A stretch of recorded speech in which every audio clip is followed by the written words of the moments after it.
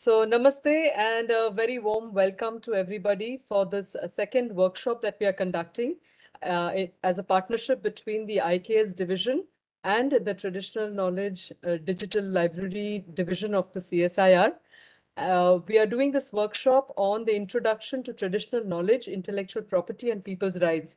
And uh, we had a very successful first workshop where people were exposed to these ideas and now with the fact that we are going on uh, uh promoting from the IKS division, we are promoting a lot of research in Indian knowledge systems and the traditional knowledge uh, digital library TKDL division itself is doing a lot of work in this area. Uh, we thought it would be really helpful to get more and more people to understand all the complexities that are involved in creating new knowledge in IKS and preserving and protecting existing knowledge traditions.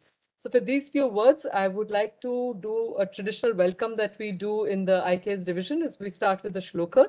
And then I will, I will welcome our uh, team from the TKDL and then we'll take it forward from there. So. Om Shanno Mitra Yama, Shanno Bhavatvaryama Shanna Indro Brihaspatihe शन्नो विष्णुरुरुक्रमः। नमो ब्रह्मणे नमस्ते वायो। त्वमेव प्रत्यक्षं ब्रह्मासि। त्वामेव प्रत्यक्षं ब्रह्म वदिष्यामि। ऋतं वदिष्यामि। सत्यं वदिष्यामि। तन्मामवतु। तद्वक्तारमवतु। अवतु माम् अवतु वक्तारम् Om Shanti, Shanti, Shanti.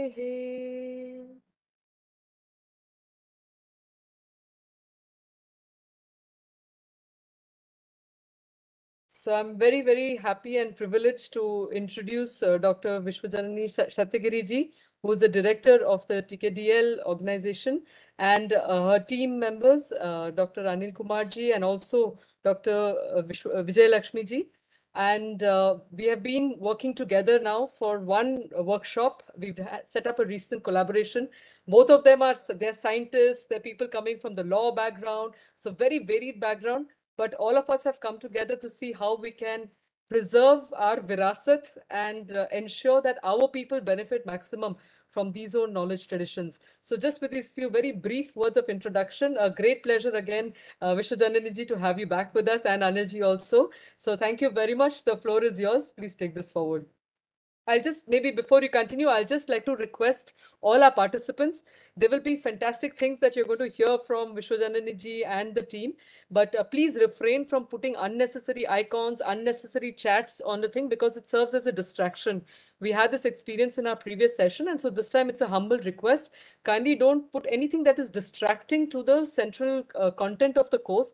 Focus on this we will also require you to have about 80% of attendance in order to get the certification of merit that you will be uh, doing after you do this five hours along with the assessment that will follow as part of this course content. Uh, please feel free to have active participation. Keep your questions ready we will see how we will be able to uh, you know address your questions at the end of every session which will be typically 45 minutes or so 45 50 minutes and then your questions. If there are any questions that have not been addressed on the one day we will carry it on to the next day. And but we'll make sure that everybody's questions are answered and uh, the team from TKDL is extremely approachable. So we really want you to uh, engage with this in a very personal manner. So please do so. And uh, look forward to your active participation. So with these words over to you. Thank you Thank you so much, Anuradha. It's always a pleasure to be back on this platform talking about traditional knowledge. I think uh, that's a common passion that we both hold, uh, uh, divisions. So once again, namaste to all the participants. We are really very glad that you are here today with us to join us on this very important uh, workshop that we believe would be of great value to all of us who share common interests. So the workshop is all about, you know, the uh, intellect traditional knowledge, the intellectual property rights and the people's rights. So it's a five-day program that we have put together. So today being the first day, I'll just kind of give you an overview of the expanse and significance.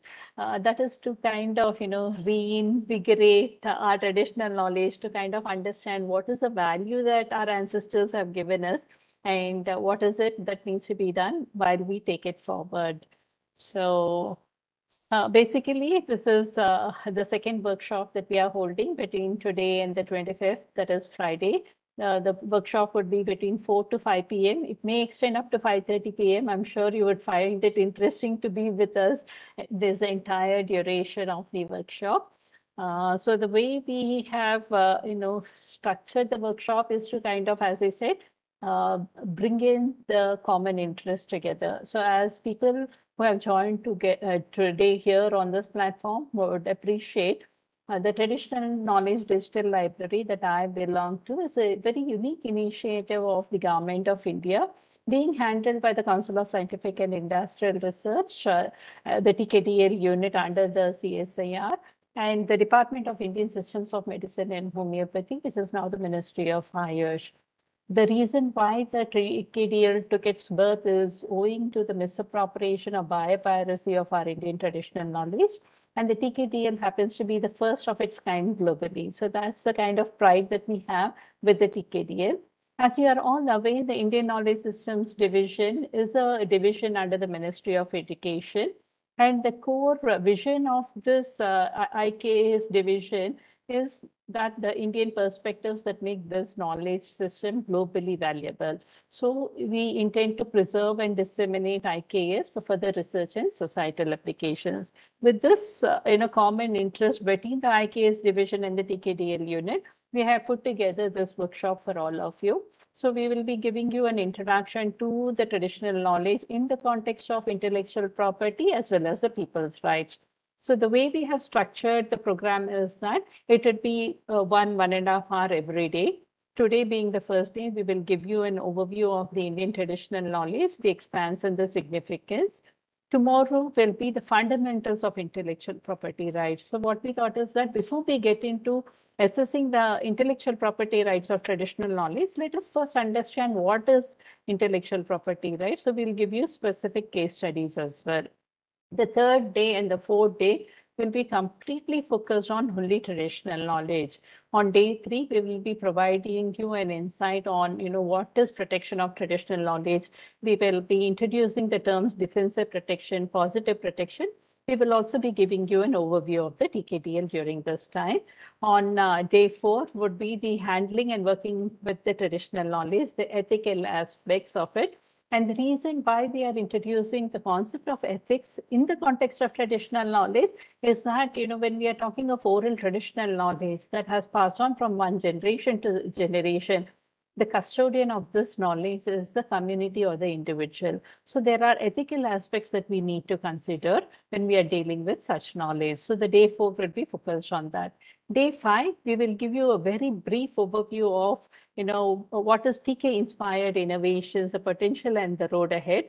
This is to kind of appreciate what TK can provide you as we move forward with greater R&D and innovation.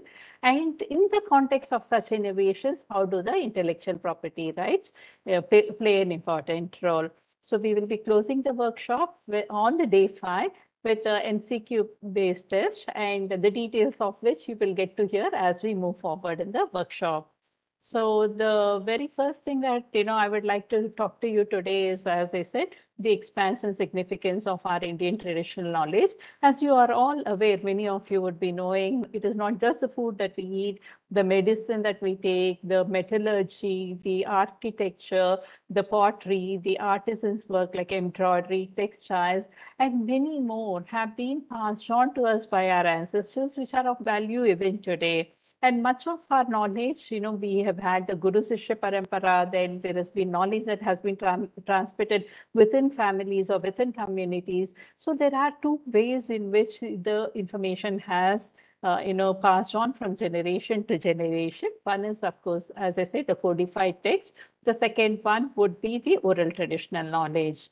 So before we get into the details of that, first I thought let us understand how the ancient systems of education worked in India. This is to appreciate that whatever we have done has gone with certain kind of rational and as well as logic behind it. So the very first thing that I would like to introduce to you is the way, you know, education was given in ancient India. So the two major things that I'd like to bring to your purview is the Tarka Vidya and the Vada Vidya. So ever since, you know, that uh, our education has got codified, we've been hearing about, you know, this uh, science and art of logic and debate. So the reason why I would like to introduce you is to again re-emphasize that our traditional knowledge is linked to logic. It is linked to rational and of the time. Okay, so perhaps that rational and logic would be relevant today or it may have changed. So for that reason, we also need to look into the art of discussion, that is the Vada Vidya, which should be of relevance in reposting our traditional knowledge to the needs of the time. So here, besides the Tarka Vidya and the Vada Vidya, there is one thing that we need to also understand is that there are certain terminologies that I'd like to introduce from our ancient systems of education. That is sadhya, that is the thesis which is to be established. It could be a hypothesis as well. Siddhanta is a proposition or it could be a tenet or a conclusion. Siddhanta becomes again very important in the way we handle our traditional knowledge. Often I'm repeating the word logic and reasoning. So Tarkavidya, as I mentioned, is a science of art and logic, art of logic and debate. Hetu is the reasoning. And the reasoning goes with udharana, that is examples. There could be an affirmative example that is sadharmaya, sadharmaya or the negative example vaidharmya. So in all of this, there are very important aspects of perception that is pratyaksha, anumana, inference, and pramana, the proof. So in, in today's context, everything we say should be evidence-based. And uh, this Pramana has had its own importance even in the ancient times. There are three kinds of debate that has been, you know, uh, recommended in the Nyaya Sutra, that is Katha, literal speech. Here is, uh, here in, in the Katha, it is the thesis and the counter thesis, which is argued by protagonist based on evidence and argument. The second very important aspect of debate is jalpa, which entails equivocation, that is ambiguous language and false reasoning to kind of put your counterpart away from the actual thought process that you have. The last but very important thing is the Vithanda. The Vithanda Vadhya is basically characterized by absence of a counter thesis. Again, I repeat, the reason why I'm bringing all this to your purview is to say that much of whatever we have inherited today has gone through a lot of this reasoning, the logic, and as well as the, eh, you know, the uh, uh, pramana to say that, you know, this existed at some point of time for a particular reason, which would be relevant at that appropriate time. And the same knowledge can be relevant today if the conditions happen to be the same or we need to kind of repose it to meet the needs of the current times. So while we are talking of all of this, I would also like to mention that it is not just today that we are talking of, you know, the different aspects of uh, education in terms of, you know, super specializations. Even in the Jataka tales, there have been four, 64 kalas, that is art and crafts that have been taught to students. The subjects could include music, dance, culture, metallurgy, agricultural sciences, shipbuilding, rope making, and many more. But that they have been prevalent even in our ancient times speaks about the volume of the significance and the expanse of our traditional knowledge. Here on this particular slide, continuing with the ancient systems of education, what I'd like to draw to your purview is that I talked about pramana, that is the proof so there is a Nyaya Pramana Shastra that is the science of correct knowledge. And what does it entail? Four conditions. One is the subject that is Pramatra, object Prameya, which is the process of cognition to which it is directed. Cognition or the pramiti itself, the nature of the knowledge or the pramana. So the pramana can be either proof or nature of knowledge. And these are the four pillars on which the Nyaya Shastra relies. That is the science of correct knowledge.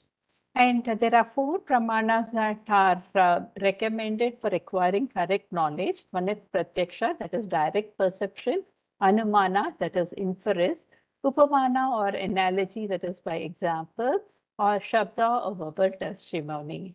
Again, you know, I like to mention that, you know, the logic, the reasoning, the perception, the analogy, the verbal testimony have all been the pillars of which our ancient knowledge has been developed. And that's the reason we need to go back and then give it, give the traditional knowledge the value it actually deserves so it can be relevant today in the contemporary times for people who joined these from the um, uh, you know Ayush uh, domains would understand even Charaka Samhita, the use of logic in medicine has been emphasized enough. It is not merely by saying that you know a particular medicine is available and it can be used. The reason why that particular medicine is used for a particular condition is also mentioned in the Samhita. Similarly, Sushruta Samhita talks about the interdisciplinary approach. What does the Sushruta Samhita say? That a physician who has learned one science alone cannot be sure of his science. And here he means about the Ayurveda. And here the reason, eh, I mean, he says it is for this reason the physician has to be versed in many sciences. So since our ancient times, we have been also talking about the interdisciplinary approach. So with this background and the importance of, you know, logic and reasoning being the key pillars of our ancient knowledge, I'd like to mention that as we move with time, things change, you know, with evolution of time, many other developments happen and we moved on. Today, if we are talking about academic fields, there are innumerable number of fields. I just kind of give you an example of, you know, uh, the major uh, ones, the natural sciences, which include biology, chemistry, earth sciences, physics, astronomy, humanities and social sciences are so many. It could cover anthropology, archaeology, geography, political science, and many more. The formal sciences are, you know, the um, more recent ones besides the mathematics, of course, the computer sciences, the logics, and the system science.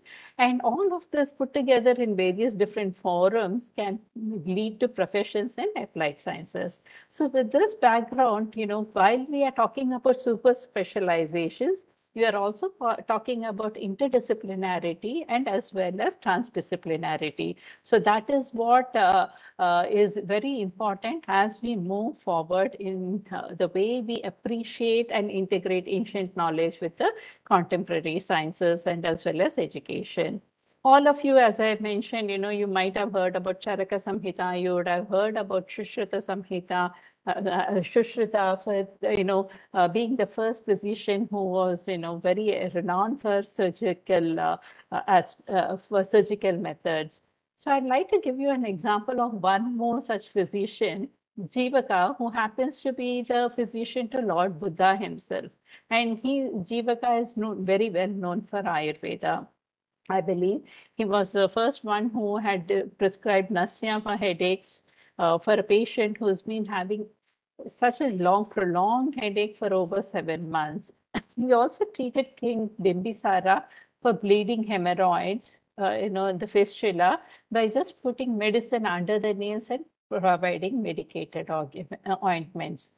Jivaka is also known for, you know, his uh, expertise in brain surgery. As the story goes, there has been a, a businessman who uh, probably the businessman or his wife, who had been having severe headache for many, many months. And uh, it, no matter what treatment was given, they were not, the person was not cured.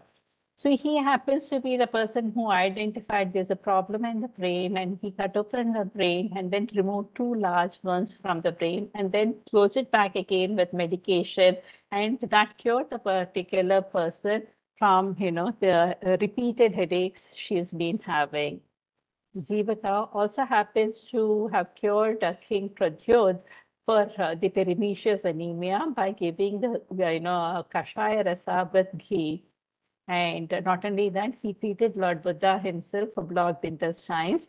And uh, here, considering the frail uh, uh, frailness of Lord Buddha, he appears to have given 19 rounds of mild purgation and given a handful of lotuses to inhale. the essence from the emanate from the flowers themselves. Jivaka is also known for one very other important aspect. Until then, all the Buddhist monks will collect rags from the cemeteries.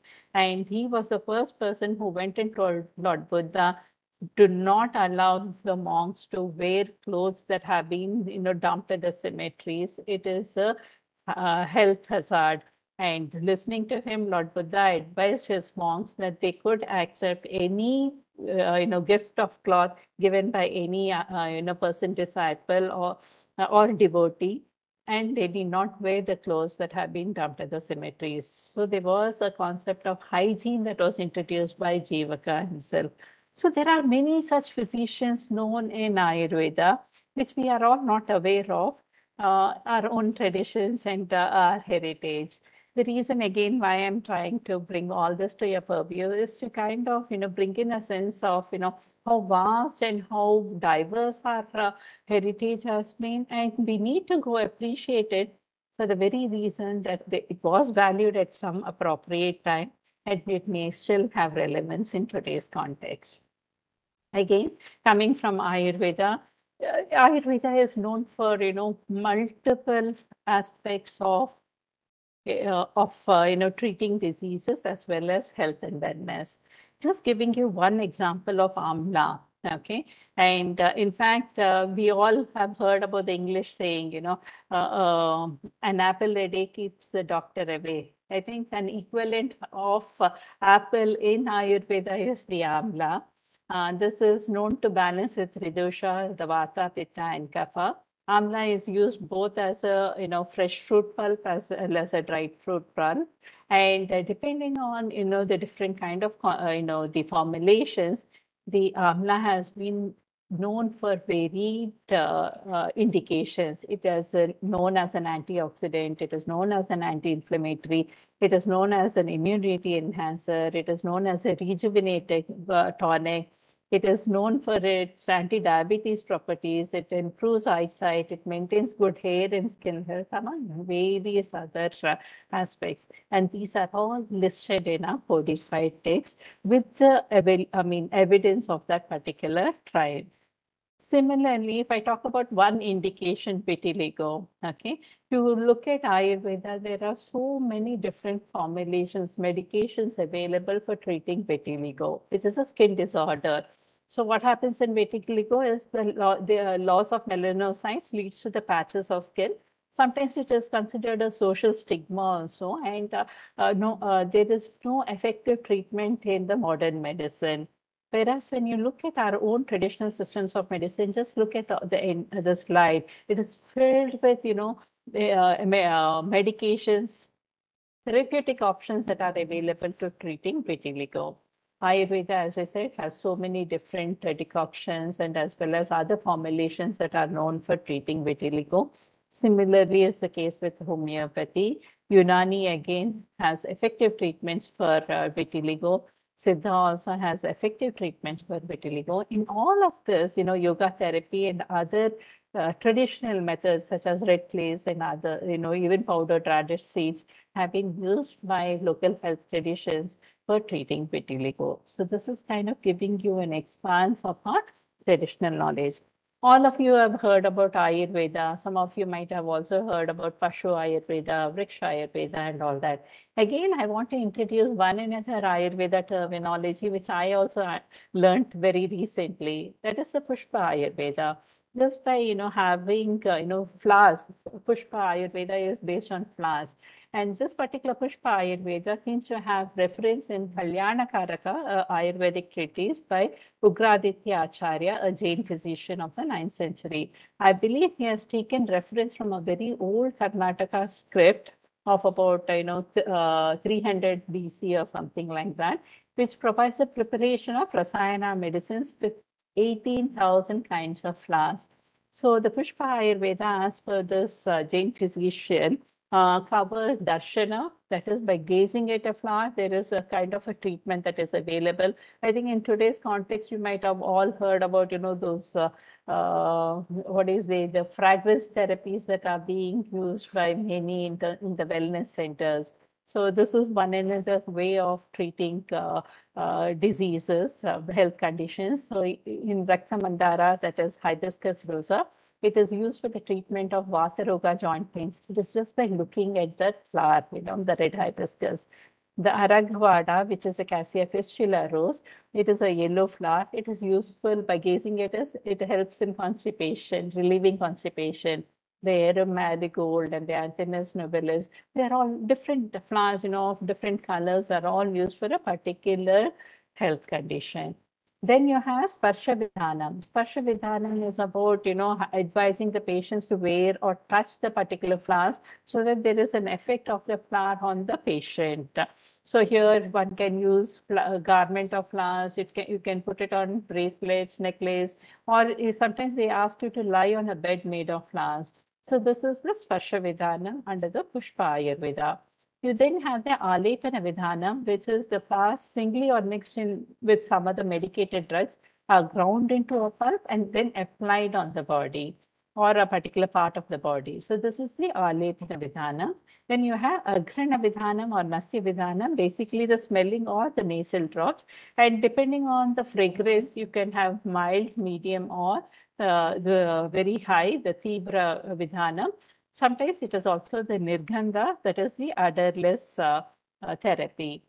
In addition to that, the Kalyanaka Karaka also mentions about the Ashwadhana Vidhanam. It is all about, you know, consuming plants by eating or drinking, depending on, you know, whether it is a rasa, that is a fresh extract, or it is a, a kvata, a decoction, arka, distillation. Sometimes thaila is made, gritha with ghee. So the Pushpa Ayurveda is also a part of, you know, uh, the Ayurveda, which is completely focused only on the flowers. Our traditional text also talks about traditional perfumery. I think many of us, you know, especially I, coming from a modern science background, I've only heard about the French uh, perfumery, which is very well known across the world. And I'm sure I would have many participants who would agree with me that, you know, we have only heard about the French perfumes. Way back in the ancient texts of Brihat Samhita, there have been, you know, traditional methods of making perfumery, which is the Gandha Yukti. So uh, in the Shloka 10, the uh, Brihat Samhita talks about, you know, using different formulations of different uh, uh, uh ingredients to make a perfume. So here in the Shloka 10, uh, it talks about Haritaki, it talks about Shanka, it talks about Ghana, it talks about Drava, it talks about Ambu, Ruda, Utpala, Shailaka, as well as Musta to give a perfume. And uh, not just that, you know, it gives you the ingredients, it also tells about how do you mix everything. So it says, you know, you can take any of these nine substances and uh, no mixture can contain the same number of parts of any two substances. So that is the link that they have given to that perfumery the magic code, I would say. And then you can uh, know what you then do is that you mix all the nine ingredients. And uh, by this, you also can uh, understand how many combinations, permutations, and combinations you can make. So if you go by that, you know, and by saying that each substance can be taken from one to nine parts and no two substances shall be taken in the same number of parts, the number of mixtures eh, by which, you know, you can arrive at perfumes by putting all together is 1 into 2 into 3 into 4, so on into 9. It gives you 3,62,880 different varieties of perfumes using those nine ingredients that have been mentioned on this particular slide. You, the Brihat Samhita also talks about the ocean of perfumes. It is the Gandharvanama, the traditional perfumery. Here, what they have advised is, you know, you can go for 16 substances and uh, if every four of them are permuted variously at will and uh, that in one, two, three or four parts, okay, you will be able to arrive at 1,74,702 different kinds of perfumes. So they have also mentioned what are the ingredients, Dana, Usira, Aguru, Dhanya, Balaka, Nagapushpa, Madanaka, Karchura, Saileya, Vyagraraka, Naka, Chola, Karpura, Sprikata, Garamalaya. So in the shlokas itself, they have also mentioned, say, for example, if you're talking of karpura, which is very volatile, they have asked you to add those ingredients only at the end so that you do not lose the uh, ingredient while making the perfume. So this is the extent by which it is not only in terms of the expanse, it even in terms of the depth the ancient text has given us so much of information that we can use it either for further R&D or innovation, or sometimes even we can make perfumes and use it uh, for commercial purposes. But we need to ensure that we have the right expert to guide us in this entire process. When we are talking of plants, it becomes incomplete if we do not touch upon the traditional agricultural practices similar to the systems of medicine where I touched about uh, Charaka Samhita, Shivcharaka Samhita, and many other books. Even in traditional agriculture, you have focused books, be it Krishi Parashara, Arthashastra also talks about Brihat Samhita, Patanjali Mahabhashya, then you have Kashyapa Krishi Shukti, Surapala's Vriksha Ayurveda, and uh, also Lokopakara, many other books. Parashara clearly mentions Sustha Bhavanti Krishaka Dhanadhanya Samhitaha. May the farmers be happy, healthy, and wealthy. And that is the context in which we are also talking about farmers, you know, uh, leading a healthy life so that we also are healthy because of them. The ICAR, that is the Indian Council for Agricultural Research, has made an inventory of not just what are the practices that have been mentioned in our text, but also in terms of the practices that are carried out by the local communities, the farmers themselves. There are seven volumes of such book, and some of them have also been validated by the uh, uh, ICAR. For example, uh, you know, in uh, the last book, they have given a summary of 38 validated Indian knowledge uh, uh, system traditions in agriculture, out of which 23 have been validated in multi locations, whereas 15 have been single center experiments. To kind of give you an example as to what our ancient agricultural practices contain, you might have heard about, you know, organic farming and that India has been known for organic farming since ancient times. That is all true, but, you know, our ancient texts go beyond that. For example, you know, for improving seed germination, we had talked about, you know, seeds with a hard pericarp, the seeds which are very hard to germinate. So there are methods for helping, you know, such seeds for germination. For example, in this Brihat uh, Vriksha Ayurveda, uh, there is a reference to tamarind or any other seed having a hard pericarp. How can it uh, germinate? They say, you know, you put it in water, mix it with powder of Triphala, that is Terminalia chebula, Terminalia bellerica, and as well as uh, Phyllanthus emblica. You can also add, uh, I mean, you add uh, uh, sesame also, barley, black gram, and then soak it well with turmeric. And you use this so that the seeds germinate. So it's all about softening the pericarp and help the seed germinate ancient times, you know, again, an example from Brihat Samhita, it talks about grafting. To me, again, coming from the modern science and technology, I thought grafting is more of a modern, you know, intervention that has been generated only after the modern science came into picture. If you go back to the Shloka 7, the Brihat Samhita says about transportation of uh, uh, plant to other countries. They say the trees can be taken to other countries and they grafted on others if they are smeared from root to the stem with ghee, antipagon, sesame, honey, vidanga, milk, and kauda. So this is again to talk about the expanse and as well as the depth of our traditional knowledge. As I said, our traditional knowledge is not confined to only the information that has been codified that's available in the text. There's a lot of oral traditional knowledge also available in the country. Here is one particular example. There is a particular group of you know, farmers uh, in the Nuapada district of Orissa.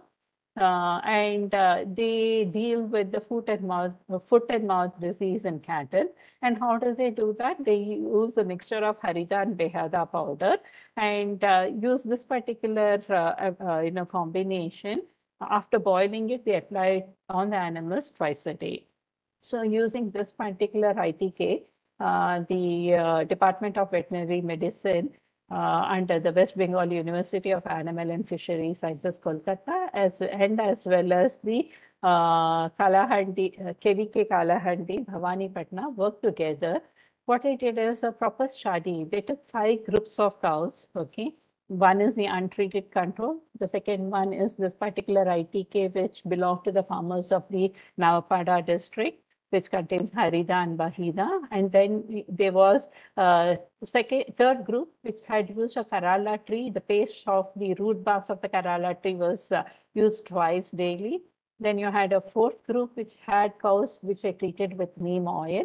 And the last group was the conventional treatment of the modern intervention, the Bexavet, 2.5 gram was given daily for three days. Based on this entire study, the group, the investigators came to the conclusion that this particular ITK was found to be effective in controlling the foot and mouth disease in the cattle, both cows and buffaloes.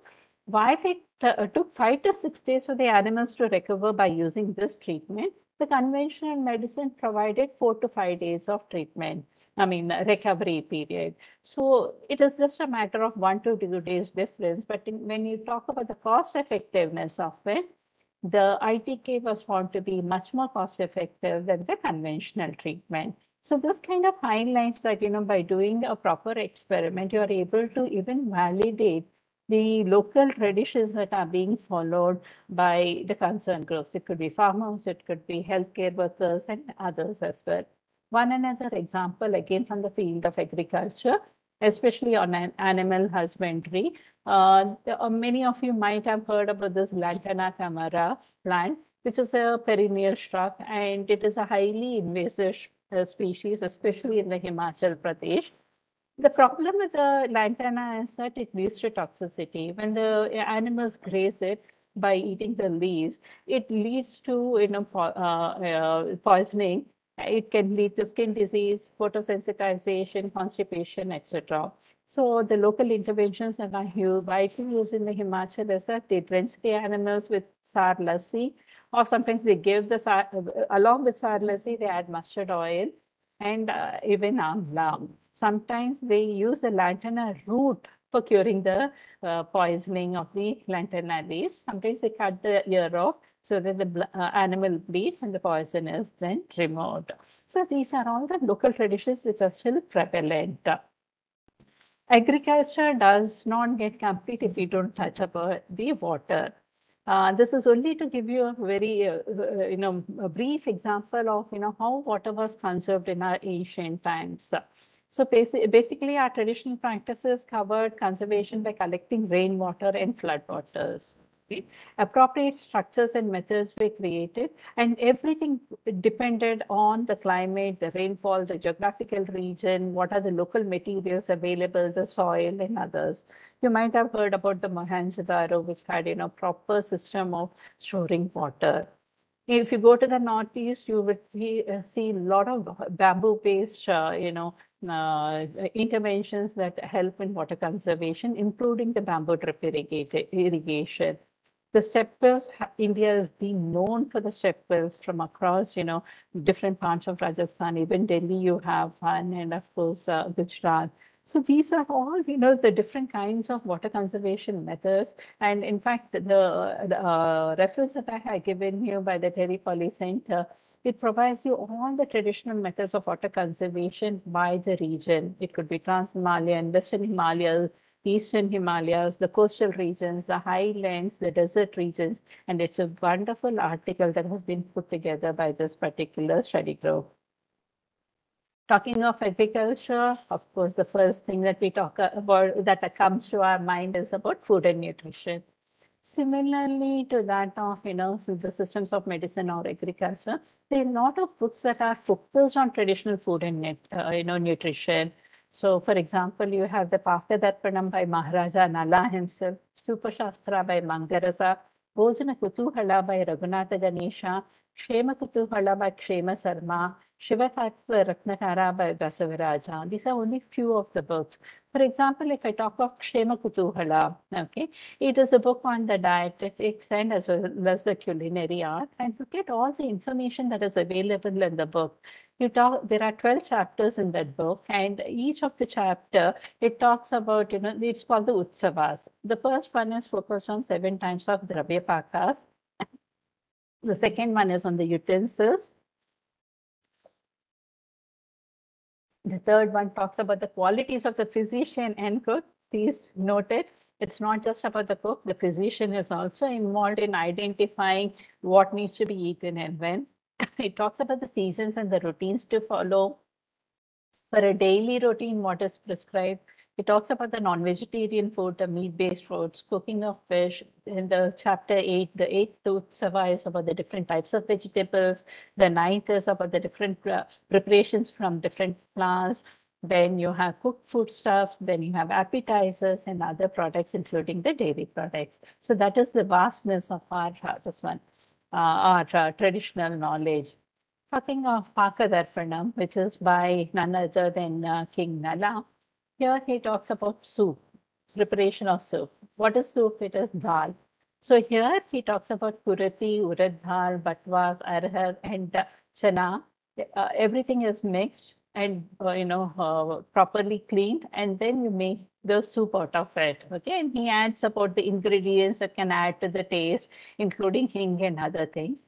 And here I'd like to lead, uh, read the last one. It's, he says, uh, "Iske baad थलचुल से अच्छी तरह मतकर जल मिला दे। तदंतर कर्पूर तथा विभिन्न सुगंधों, पुष्पों से अच्छी तरह स्वासित, सुगंधित कर ले। इस प्रकार मेरा बनाया हुआ उत्तम स्वादिष्ट दाल पाचक राजा के लिए दे दे। So this is meant for you know food that is fit in for a raja and that is available for every common public today So we can also, you know, emulate and use this uh, uh, dal for better health and nutrition. Similarly, there is one more uh, he has mentioned. So as I mentioned, our food was not only meant for you know, uh, meeting the uh, the taste flavors of our tongue, of our body. It was also meant for, you know, better health as well. So here is one another example of the Krishna Krutis Banani Kavedi Tatagun. So this particular pachak from dal from Krishna Kuruti, he talks about pepper, lasun, hing, and other ingredients, I'm sorry. And uh, this particular uh, uh, preparation is known to have, uh, you know, if, uh, uh, elevation of Vata Vikar and as well as Kapha Vikar. And it says it helps you to overcome the diseases related to the Vata rogs.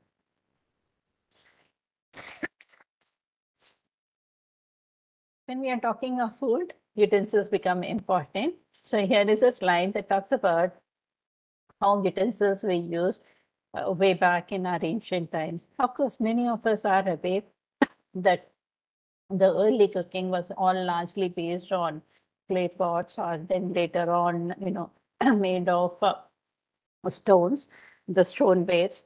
Uh, but over time, we moved into the Iron Age, the Copper Age, the Bronze, and the Brass, and we started using vessels of made of various metals. Over time, our food habits also changed. Earlier, a lot of our food habits were based on, you know, using local resources. We had the concept of, you know, protecting environment and ecology, and that is the way uh, our everyday behavior was. But of course, with time, things change.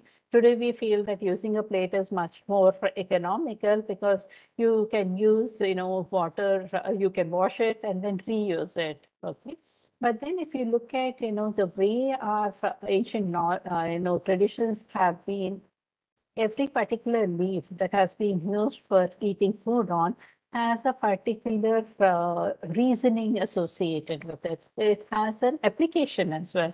If you talk of plantain leaf, of course, it is known to be a cordial uh, indication for using a plantain leaf when you are, especially in the South India.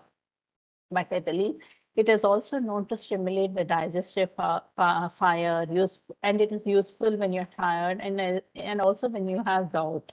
Similarly, if you're talking about the Butea monosperma, that is the palash leaf, it alleviates the vata and kapha, and it also treats the parasital uh, uh, diseases such as ascites and abdominal tumor. It also cures dyspnea. You take the castor bean leaf, it alleviates vata and kapha, it kills worms, it treats fever, and it is beneficial for rising digestion. And I would like to draw your attention of this particular slide to the reference that I have given. This is more of a recent reference, you know, it is about the journal uh, information from the Journal of Ethnic Foods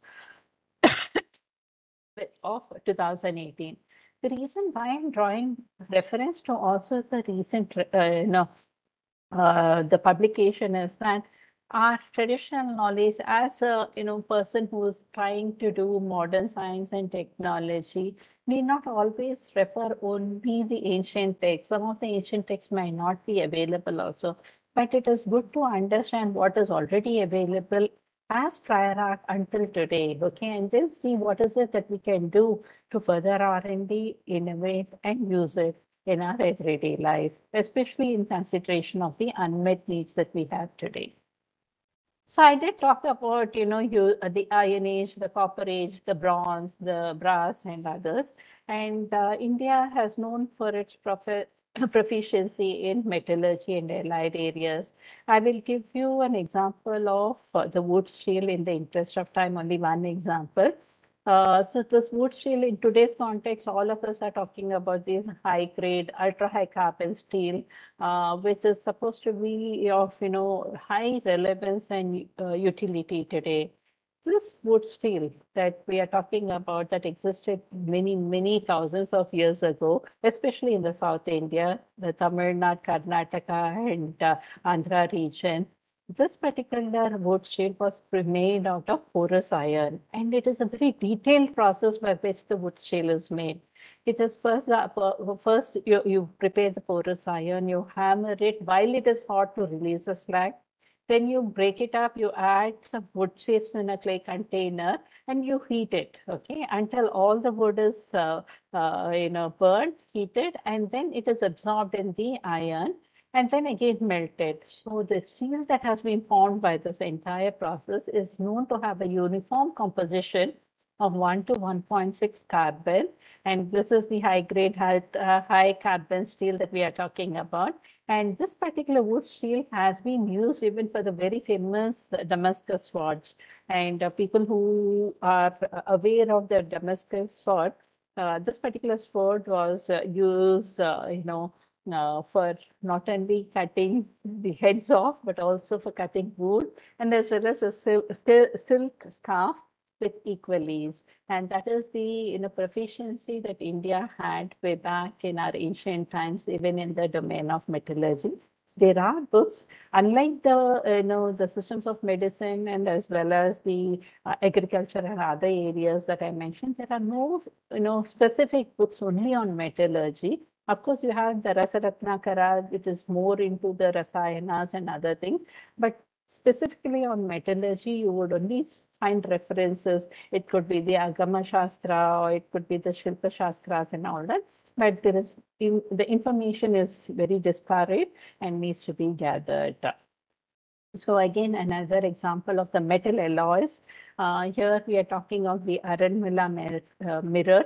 This is a metal mirror. There is no glass used. And what does it contain? It contains tin, it contains zinc, it contains phosphorus, it contains iron, it contains nickel and copper, no glass at all. And Aranmula mirror is still being made by a very small group of artisans in Kerala. There is one another example of the Kadavalur eating bowl. And uh, this is, you know, again made by a repeated thermomechanical process. It contains tin, it contains lead, it contains zinc, it contains phosphorus to a small amount, and the rest is all copper. So these are all the traditions, the metal alloys that have not been prepared today, but in ancient India and is still relevant today and is still prevalent today, although to a very small extent. So this is to kind of again give you an overview of how uh, diverse, how uh, you know vast our traditional knowledge has been and is of relevance even today. When we are talking of the architecture of India, it's a living tradition because if you go to any of the old temples, you would see how beautiful the architecture is. I'll give you just one example of the Tanjavur Brihadishwara temple. So here, you know, it is uh, the IGNC says it is an artistic excellence because it the excellence lies in the perfect balance of the parts and the whole the architecture, the sculpture, the painting, the stone and the bronze images, the idols within and the reliefs without. The inscriptions on the wall of the temple provide a vast corpus of information at the level of economic, social, cultural, organizational, and administrative patterns and structures. So that is the information content of our temples. It's not just for the religious purpose, spiritual purposes that we go there, but it contains so much information that would be of relevance even today. There's so much that we can learn from such architectural marvels of India. So to kind of give you, you know, further information on the Brihadishwara temple, there's a multimedia DVD made by the IGNCA and uh, it uh, you know, and it's a very useful uh, information because, you know, you can move your mouse over the temple and you will get information on each of the part of the architecture as well as the information on the carvings and the sculptures. So here for one example, I'd like to give, it is about the linga that they talk. Then they talk about the sculptures on the ground and the upper floors. And then they move to the upper floor, the central sanctum. They provide you information on all the sculptures Particularly, I would like to draw uh, your attention to the dance karanas described in the Bharatanatyam Shastra. 108 happens to be the magic number in most of our ancient texts, and so is the case even with the Natya Shastra. In the temple, on the first floor, there were 108 stone blocks that they left to be carved, but the work was stopped after the 81st dance. So 81 dance karanas are depicted in the Brihadishwara temple. So it is not only information on the architecture, but also in terms of the cultures, the cultural expressions that prevailed during the period was also captured in such, uh, uh, in, you know, uh, temples. Talking of continuing with architecture and infrastructure, uh, we talked about a huge and magnificent Brihadishwara temple. I'd like to go to the Spiti Valley now with you to the Himachal Pradesh, where if you look at the picture, it appears to be a very, very simple monastery, doesn't it? And this Tabo Mud Monastery is was made in the 10th century. And despite the, you know, very uh, difficult weather terrain. Uh, it has survived over all these years. This particular monastery has been made of rock, which includes raw earth, water, and fibrous materials like the straw. And not only that, it is all about the architecture and the infrastructure. If you go inside the uh, monastery, even now you would see some collection of frescoes, that is mural paintings and the tankas, the scroll paintings adorning the walls of the monastery. And uh, this is also called the Ajanta of the Himalayas. While these are all, you know, kind of associated with some kind of religion and as well as our emotional sentiment, I'd also like to draw about the simple structures that have been built by uh, the uh, communities. Here, I would like to give you an example of the bhungas. Okay, and the bhungas are circular structures made out of mud bricks and the interior is made of the tree branches, again packed with mud. So you might have all heard about the Bhuj earthquake, right, in 2001. So in terms of the rehabilitation and uh, uh, rebuilding the Bhuj, the bhungas were created. And uh, it, for every family, two bhungas were created. They built about 1,400 houses uh, after the earthquake. Similarly, when the Kosi floods happened in Bihar in 2008, the Bhungas again came of use because two model villages of 15,000 houses were built and uh, the policy that facilitated about 1 lakh houses. So this is the relevance of our traditions, our culture, our cultural expressions when we are talking about the expanse and significance.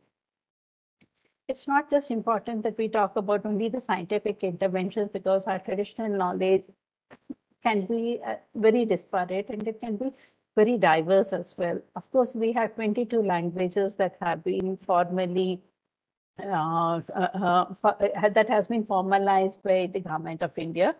But then India is home to so many, many languages. And as per an article in Indian Express in 2020, there are about 600 potentially endangered languages in India. And as the author rightly says, with each dead language, we are losing out on a culture system. So the Ministry of Tribal Affairs took cognizance of it and they have identified 82 language primers that needs to be protected and promoted. So the slide gives you, you know, different uh, kind of language primers across different states. In Tripura, there are 14. In uh, Orissa, there are 5. Maharashtra, 11. Madhya Pradesh, 15. And it also talks about the language and the tribes that would be covered under this particular initiative from the Ministry of Tribal Affairs. Similarly, cultural expressions include the different art forms, and uh, there are uh, about 52 incredible Indian art forms that says uh, that the author says here that we must protect as part of our cultural expressions. And uh, right from the Aipan art, the Assamese miniature painting to Pattachitra or the Pipli art, there are so many of our Indian arts that still has value today and needs to be given, handed over to our future generations as well cultural expressions it is not just for the you know the a feeling of happiness that you know we uh, look at it. But when we're talking of the uh, traditional cultural expressions that is the performing arts it's not only has been as i said a means of entertainment but it is also means of communicating from a social perspective from as well as the human rights perspective and other things. For example, if you're talking of the Yakshagana from Karnataka, this is a very effective folk theatre form that has been used extensively for conveying environmental consciousness. So here is a particular example from Karnataka. As you all know, Bharatanatyam, you know, has been, I even gave you the Natya Shastra example from the Brihadishwara temple.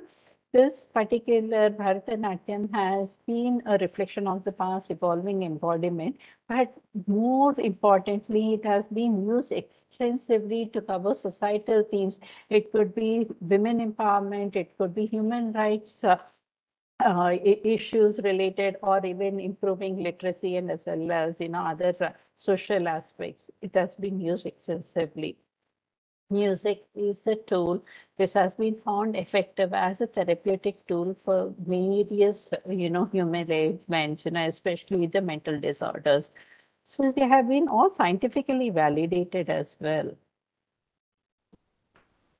To summarize, I'd like to say that I just tried to give you an overview. I think I exceeded time Nevertheless, I'm sure you would have patience to continue for a few more minutes with me. I would like to say our Indian tradition is so vast and diverse. It needs appreciation as well as rejuvenation. And I'm sure you would join hands with me in promoting this sentiment of mine and as well as the government of India. So here, when you're talking of traditional knowledge, there are two major forms. One is the codified and the non-codified. The codified typically covers the manuscripts, scriptures, painting, texts, and other things. So non-codified as the oral traditional knowledge that has been passed on from generations to generations. As I said, Guru Sishya Parampara has been a primary mode of education, but education has been received within families and communities as well as an oral knowledge. And, uh, you know, the logic, reasoning and debate are very important for our, you know, education. And that forms the, you know, the basis on which India has grown over thousands of years and would still be relevant even in today's con uh, uh today's uh, context. The sadhya, the siddhanta, the hetu, the udharana, sadharmya, vaidharmya are all very important. Not to forget that the Tarka Vidya and Vada Vidya are essential even in today's context because we need to understand why we are doing what we are doing, and we need to have the relevant reasoning and background information for that. The four pramanas for acquiring correct knowledge include pratyaksha, anumana, upamana, and shabda. And I'm sure you would also appreciate that while we are talking of traditional knowledge, while we need to feel very proud about it, we also need to move forward with evolution of time. And what is required is the pramana of our times. And that is why we are here today, the CSIR, TKDL, and the IKS division, to bring to you that the national IPR policy and the national education policy, both in terms of innovation and as well as education, clearly mentions that, you know, the importance of our knowledge systems, that is the Indian knowledge systems, and why it is important to use this as a foundation as we move forward. So our role is for protecting, preserving, and protecting, uh, promoting our traditional systems of knowledge from India. Thank you so much for your patient listening.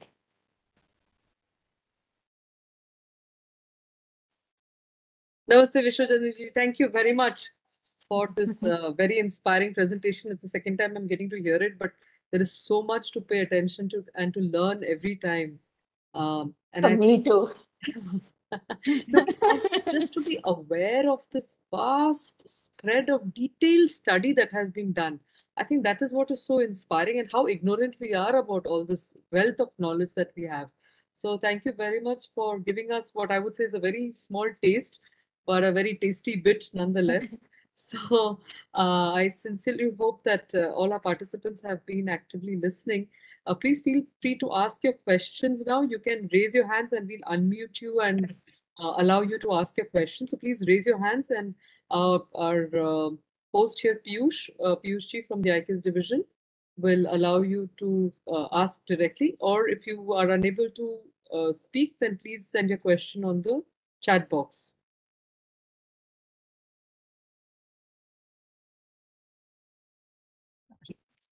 So anybody has a question? Namdev ji, could you please ask your question?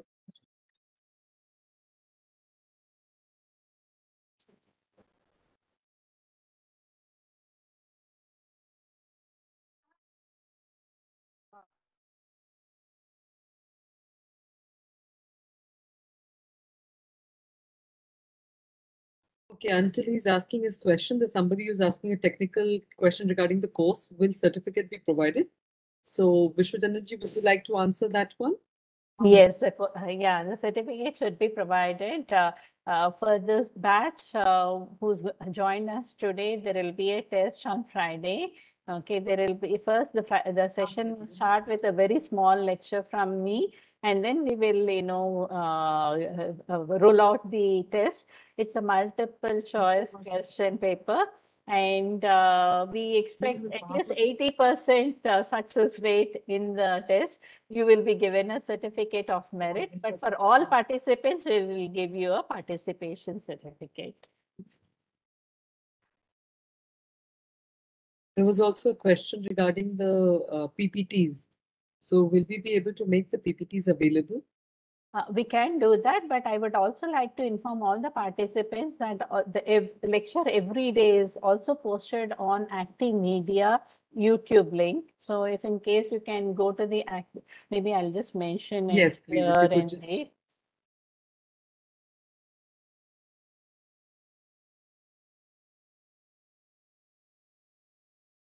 So all our lectures are available on this YouTube. Okay, so you can go and listen to it because it comes with an explanation to every slide. But uh, the slides can be posted. We are just waiting for this batch to be over so that they can take the test and then it will be made available. We want you for in here participating with you know very active attention. Uh, there was also a question here by uh, Namdev ji uh, who said, ma'am, how can you use traditional knowledge for commercial application? You can use traditional knowledge for commercial uh, for use because if you're talking of even the Ayush, Ayush drugs, okay, so there are many drugs that are already there in the market. The only thing that we re-emphasize is take professional help whenever you are trying to market a product from our traditional knowledge because you know you may understand something from the text that is there but sometimes it actually helps to get a you know proper advice from a professional who's you know subject expert of that particular domain because you would be able to capture the nuances. And also if in case there are certain uh, you know, risk elements you would know how to handle the risk elements as well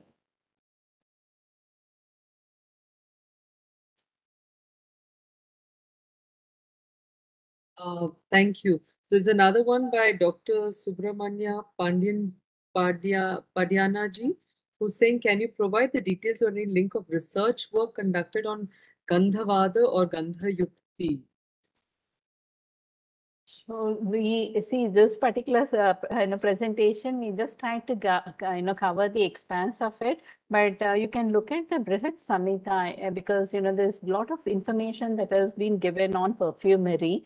And if in case you need any help on that, you know, you can get connected with me. I'm also putting my, uh, you know, uh, email address in the chat box. Whoever wishes to have, you know, more detailed information, I may not be able to give you now, but I will look at the details that you would be sending it to me and we will provide you answers or connect or support whichever way would uh, you know be the best.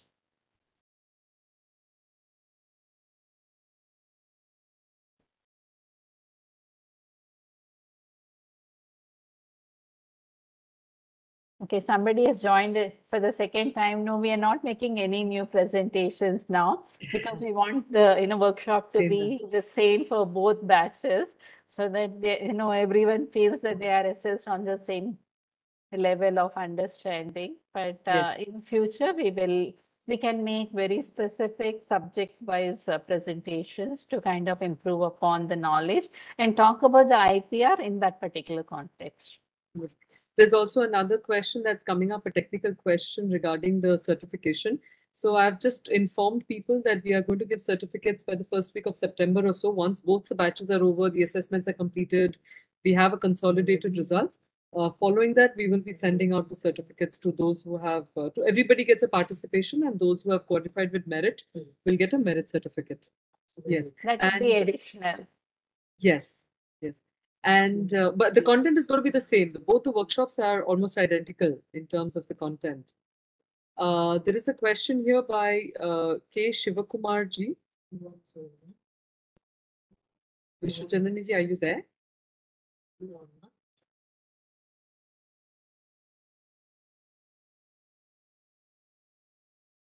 So I think we'll just hold a little bit. Um, let me see if there's anything that I can, or Anilji, if there's something that you can answer in the meanwhile. So there's a question regarding, can you please explain why still many people are depending on the allopathic medicines which have many side effects, but we have many natural medicines, Ayurvedic medicines which do not have side effects. Anilji, would you like to venture? Oh, Vishwajanani ji, you're there? Anilji? Uh, we can wait for the madam to answer for this. I mean, this, this, for this specific question. However, there is one more question, which is like, no, what is the credibility of prior arts? Because there is no clinical trials. Uh, how well the developed countries believe in the prior arts? So with regard to the prior arts, we would like to submit that uh, uh, for getting a patent granted, these prior arts, they play a very critical role because prior arts are the base, I mean, the documents or the references on which the credibility or I mean the, the, the essential parameters of granting a patent are based. So in, if you talk about novelty or inventive step, see the existence of that information as a prior art plays a very critical role. So in case it is published, your novelty goes completely, then you will not get the patent. Or else, in case you have improved something over the existing prior, I mean the state of art, which is established through the prior arts, then you have to prove beyond the, I mean, I mean, beyond a, I mean, a normal skill that is required that you have done a inventive step on that and then only you can prove the inventive step. So prior arts definitely play a very critical role in IPRs, specifically with regard to granting of patents. Vishwajananiji, you're back. Your video is very blurred though. There's some reason why we can't see you very clearly. There was a question uh, Anilji, thank you very much for that answer. Uh, uh, there was a question here for you. Uh, by Yeah, no, I think I stopped my video. There's some problem here. We lost power here today too. oh, Uh, thank- okay. Okay. you still remain the enlightened one, although it's not dark around because of the earlier schedule. Yes. So we have uh, the K. Shivakumarji is asking, Madam, can you please explain why till many people, still many people are depending on the allopathic medicines which have many side effects, effects, but we have many natural medicines like Ayurveda medicines which do not have side effects. If that's. Uh, well, uh, as per the statistics that I we received, you know, almost like 80% of uh, all countries, you know, who are the WHO member states, they use, uh, you know, the traditional medicines in some form or the other. Okay, and only when uh, I think probably the reach of the uh, modern medicine is not there, there is more reliance of the traditional medicines. Uh, Perhaps it could be because of colonization and you know other related uh, matters that we have moved over to the modern medicine. But I think with all, all the recent efforts being made by the Ministry of Ayush, I, especially during COVID, we had seen that many of us have moved to traditional medicine, including Ayurveda for our everyday needs. And we are hoping that uh, this trend will continue as we move forward.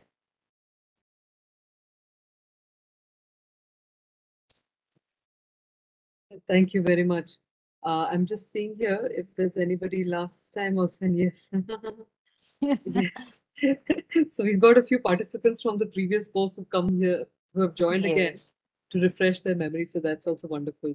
So we have here how to clear the non-obviousness step because most of the people fail to justify this criteria by Dr. Yogesh Patil ji. Yeah, so here I would like to clarify, but that when you are applying for patent, you need to clearly understand whether you are validating what is already known or are you developing something new. Okay, so when you are validating anything that is already known, there is nothing novel about it, and there is no inventor step because you are only proving what is already known in the literature. But if in case you are doing further R&D in identifying, you know, a certain particular formulation. Say, for example, I have a polyherbal formulation that is known in our ancient texts, but with, you know, it has certain kind of, you know, properties that may either relate to toxicity or, uh, uh, you know, uh, tolerability issues. But with your R&D, you're able to overcome that that you need to disclose in the patent application to say that, you know, by this R&D, you have overcome that particular negative effect, okay? Then you will be able to prove that inventorship, okay? And you will be able to, you know, at least put up your argument for a patent grant. Similarly, when you are talking about polyherbal formulation, okay? You know that it is already, kno- or if you're making a polyherbal formulation from known ingredients, say in Ayurveda Siddha, Unani, okay? And you're making a new formulation. Typically, say for example, I have four herbs that are known for, you know, as anti-diabetes. You're just mixing all the four and saying that you have created a new formulation. You will not be able to overcome the uh, requirement of inventorship because each of the particular herb is known for that particular property. To say that, you know, in a one particular proportion, you are able to create, you know, 10x, 15x in terms of, you know, improvement in efficacy and also reduction in, say, toxicity or any other parameter. This you will be able to get only when you have done that R&D. So you will be able to prove your point of inventorship. So the next two days or three days discussions will all be on these aspects to say it is not a blanket, uh, you know, um, uh, uh, uh, discouragement on, uh, you know, filing patents on traditional knowledge. It is all about, you know, challenging you, challenging somebody to overcome, you know, the, uh, what is prior art and it, be very creative to make it useful to our current conditions, especially the unmet needs. And that is where patenting can be of help because you will be able to secure intellectual property rights on your inventions.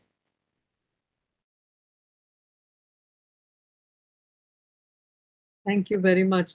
There was just, I think we'll take this last question and then stop for the day. Uh, Deepanshu Pandey is asking, he says, first of all, he's very appreciative. In fact, there were a lot of comments of appreciation for the session. So uh, we have Dipanshuji who's saying, I'm a research scholar. Please guide me on how to apply IKS in the field of chemistry.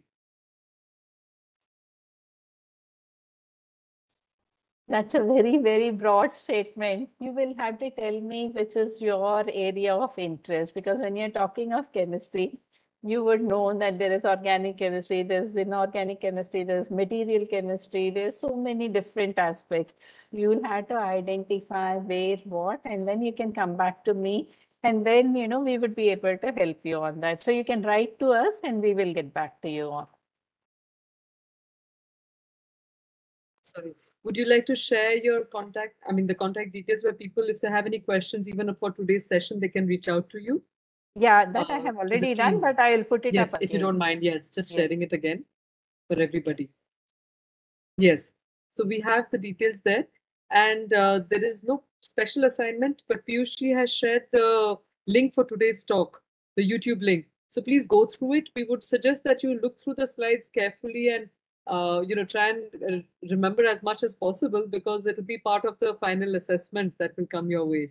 And uh, just one other thing is we know that there are people who are joining from the previous batch as well. But I'm sorry, the results for that remain for that session, and the, those only those who are uh, new applicants for this course will be, uh, you know, their assessment will be evaluated. Their uh, I think exam we can- No, Anuradha, I may ha- differ with you on this. Let them, let them, because perhaps, you know, when uh, people are hearing IPR and people's right for the first time, it might be a kind of a little difficult subject matter. If in case people are interested, let them apply. If they get a merit certificate, I think we would also be very happy that we have been Wonderful. of, you know, use to somebody. Yes, because the good news is it's not relative grading. So it's not that we have a limited number of people who can clear the merit thing. So as many clear, the better it is. So please feel free to share it with your uh, the pre- previous group also and say there's a second chance. So we'll have everybody listening all over again. But it would definitely benefit you to uh, you know go through the content more carefully once more. So thank you very much. I think we'll stop here for the day and uh, look forward to uh, seeing you tomorrow, same time from four to five. Piyush, tomorrow four to five. Yes, so we will hold it from four, we'll have it from four to five again for the whole week. Uh, and uh, look forward to your active participation. So I'll just end, like typically we tend to close with a recitation and we'll end the session with the Shanti Mantra. So. ॐ सर्वे भवन्तु सुखिनः सर्वे सन्तु निरामयाः सर्वे भद्राणि पश्यन्तु। मा कश्चित् दुःखभाग् भवेत्। ॐ शान्ति शान्ति, शान्तिः।